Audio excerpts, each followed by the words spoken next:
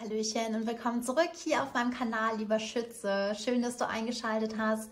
Mein Name ist Janina und ich lege für euch die Karten für die kommenden sieben Tage. Montag bis einschließlich Sonntag. Ich schaue rein, was bewegt euch, was ist wichtig, was dürft ihr vielleicht auch gehen lassen. Und dann würde ich sagen, wir legen doch direkt mal los. Ha, im wahrsten Sinne des Wortes. Ja, ihr Lieben, ihr seht, ich mische schon das Tarot. Ich nehme das Mystic Palette Tarot von Ciro Marchetti wunderschöne Karten und würde mal schauen, was begleitet euch. Die Spoiler-Energie aus der letzten Wochenbotschaft für diese hat besagt mit dem Wagen, dass du dranbleiben sollst. Ne? Du hast das Gespür, du wirst energetisch, also in diese Woche starten mit einem zuversichtlichen, ich bleibe dran, ich halte durch. Ne? Hier bewegt sich etwas, es geht voran, ich verliere den Glauben nicht. Schöne Einstellung auf jeden Fall. Dann gehen wir mal hier rein und gucken, was ist so deine allgemeine Wochenbotschaft? Was ist so dein zentrales Wochenthema? Okay, da haben wir direkt, direkt zwei Kärtchen.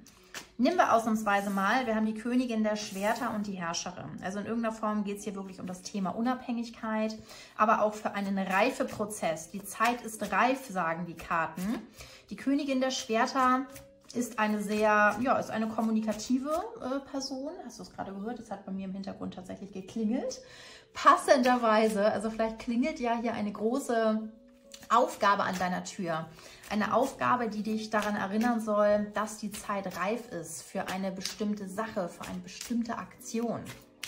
Okay, in dem Sinne, schauen wir doch mal rein. Montag, vier der Stäbe.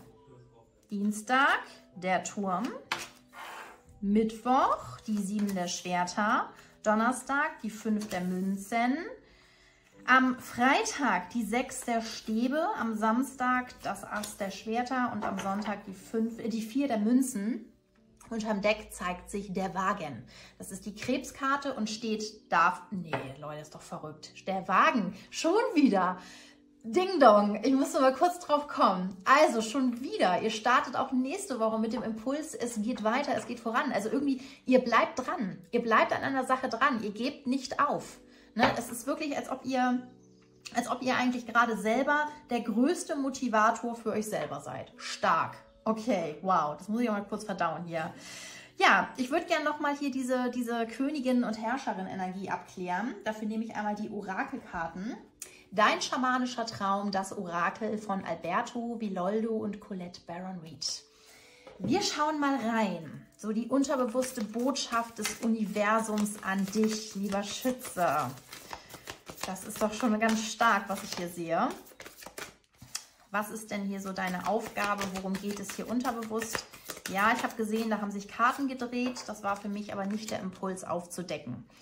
Also, da haben wir die Karte 48, der Himmelstänzer und Hingabe. Dein Unterbewusstsein, das Universum lädt dich ein, dich hinzugeben, ne, dich fallen zu lassen. Der Himmelstänzer, ne, also so, so, ich kriege so eine ganz leichte Energie tatsächlich rein. Die 48, 4 und 8, das wird zu 12. Und die 12 in der großen Arkana ist die Karte vom Gehängten. Es geht also auch um einen Perspektivwechsel, die Dinge neu zu betrachten. Und durch diese neue Betrachtungsweise kommst du dann in die Energie von der Königin der Schwerter und der Herrscherin. Das heißt, du merkst, die Zeit ist reif. Ich selber bin gereift. Hier ist etwas fortgeschritten. Chapeau an der Stelle. Sehr schön. Welches Einhorn, lieber Schütze, darf dich dann begleiten? Diana Cooper, die Magie der Einhörner, das Orakel. Ihr wisst es, zumindest die, die mich schon lange abonniert haben, diese Einhörner begleiten mich seit Anfang meines YouTube-Kanals. Stark, stark, der übrigens Ende Mai, meine ich, Ende Mai ein Jahr wird. Ein Jahr, hier können wir Geburtstagsparty machen. Da muss ich mir irgendwas überlegen. Irgendeine Special Edition, irgendwas muss ich mir einfallen lassen. Will ich mir einfallen lassen. Müssen tut man gar nichts. Ich will mir was einfallen lassen. Also, welches Einhorn haben wir hier? Schauer der Segnungen. Öffne dich, sie zu empfangen, gib sie weiter. Aha. Die 24 wird zur 6. Die 6 in der großen Arkana ist die Karte der Liebenden. Das heißt, die Hingabe. Wohin fühlst du dich hingezogen?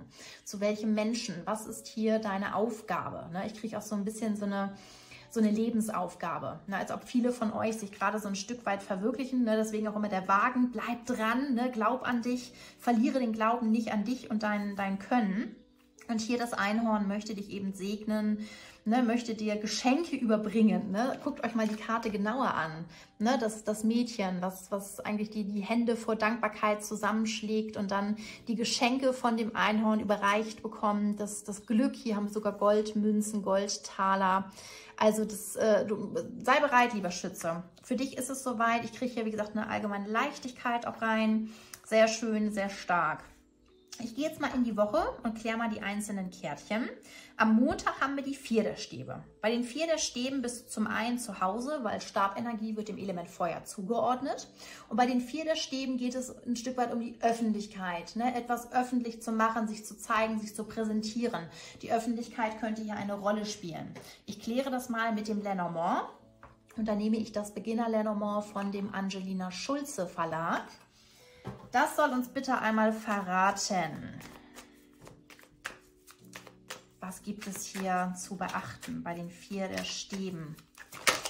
Die vier der Stäbe, da haben wir einmal den Bauch mit etwas schwanger gehen, mit einer Idee, ein Plan.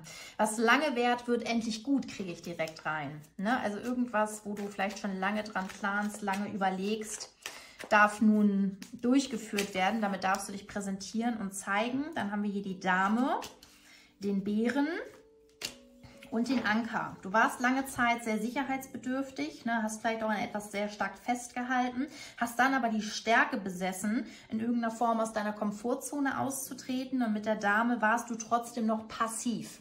Na, das heißt, hier geht es jetzt darum, in irgendeiner Form dich zu zeigen, dich mit deinem Können zu präsentieren, mit etwas dich zu präsentieren, wo du schon lange überlegst, das zu tun. Am Dienstag der Turm, der große Zusammenbruch, das große Karacho.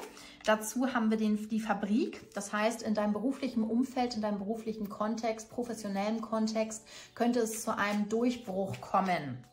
Ein Durchbruch, der lange überfällig ist. Hintergrund ist der Mond, die Mäuse und der Berg. Jo, was hatte ich denn in der Vergangenheit gehindert? Das ist der Berg. Und der Berg steht für Hindernisse, emotionale Blockaden, die sich natürlich mit den Mäusen ganz hervorragend begründen lassen. Die Mäuse stehen für Ängste, für Sorgen, für Dinge, die uns zurückhalten. Dazu haben wir noch den Mond, der für das Thema Anerkennung steht. Du hast gelernt, dich selber anzuerkennen, hattest damit aber so deine Schwierigkeiten und jetzt darfst du hier einen Durchbruch erleben. Okay, am Mittwoch die sieben der Schwerter. Mit den sieben der Schwerter ne, habe ich so eine, so eine Energie, wo man wirklich sagt, man traut einer Sache nicht, man macht sich mit etwas davon. Mm, man ist in irgendeiner Form nicht ehrlich und das betrifft hier mit dem Sarg einen Stillstand, ein Ende. Eine Sache ist zu Ende und das möchte man sich irgendwie nicht so eingestehen. Hintergrund. Du warst in der Vergangenheit diesbezüglich mh, mm, sehr zuversichtlich. Mit den Vögeln habe ich das Gefühl, dir wurde auch was eingeredet. Ne? Also Vögel stehen zwar auch, stehen zwar auch für Nervosität, aber ich kriege hier eher sowas wie so das Schnatter von außen rein. Und mit dem Herren ne, kann es natürlich für eine andere Person stehen, aber auch dafür, dass dieses Gerede dich hat aktiv werden lassen. Aber nun ist es eigentlich Zeit, hier etwas zu beenden. Aber diesbezüglich machst du dir selber noch etwas vor. Dann haben wir am Donnerstag die fünf der Münzen. Fünf der Münzen ist, glaube ich, in jeder Legung fast gefallen bei den Wochenbotschaften. Da geht es um den Mangel, um den Mangel, den wir uns entweder selber einreden oder in dem Falle der Brief steht für die Kommunikation jeglicher Art. Es könnte ein Bescheid, ein Schreiben sein, kann auch manchmal der Blick auf den Kontostand sein. In irgendeiner Form hast du das Gefühl, etwas reicht nicht aus. Jetzt ist mir gerade die Kerze hier ausgegangen. Also irgendwo ist, ist äh, Schicht im Schacht. Dieser Mangel, da haben wir im, als Hintergrund die Sonne, das Haus und den Baum. Also, hier hat sich eine Situation mit dem Baum gut entwickelt. Starkes Wachstum kriege ich rein, Stabilität, die du dir aufgebaut hast. Im Privaten, das Haus ist gefallen, das steht für die Familie, für dein Privatleben. Diesbezüglich warst du sehr energiegeladen, sehr zuversichtlich. Aber nun hast du hier Mangel. Mangel in einer Beziehung, Mangel, was deinen professionellen Stand angeht. Irgendetwas, ne, die Art, irgendwas kommt auf dich zu, eine Art Kommunikation, die dir diesen Mangel aufweist.